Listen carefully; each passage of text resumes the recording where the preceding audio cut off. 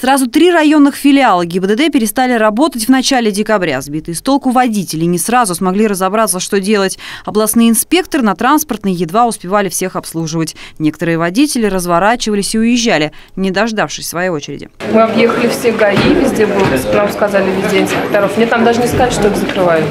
Значит, сегодня говорят, успеем, не успеем, э, поставить на регистрацию, хотя бы, говорит, осмотр успеть сделать.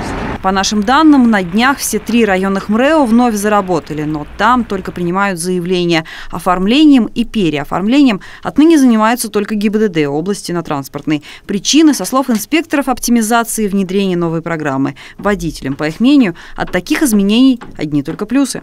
Если в регистрационных пунктах э, осмотр транспортных средств, вот, который мы наблюдаем сейчас, проводился в определенное время – инспектором, что создавало неудобства для граждан.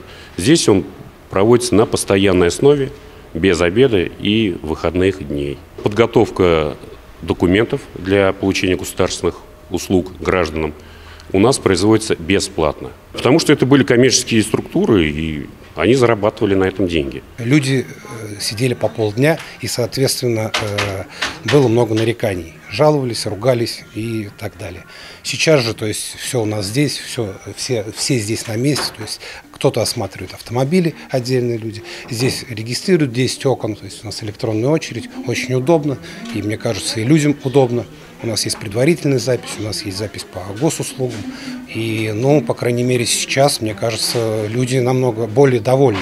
В областном ГИБДД теперь работают без выходных. Сегодня в понедельник инспекторы должны были отдыхать, но в связи с изменениями режим работы поменяли. Наконец-то довольны водители. Ведь режим ожидания инспекторов длится считанные минуты. Правда о том, что понедельник теперь рабочий, все автовладельцы могли и не знать. Интересно, будет ли очередь завтра? Мы будем следить за ситуацией, ну а получить госуслугу также можно через единый портал в интернете. Ольга Патрушева, Владимир Семенов. Наше время.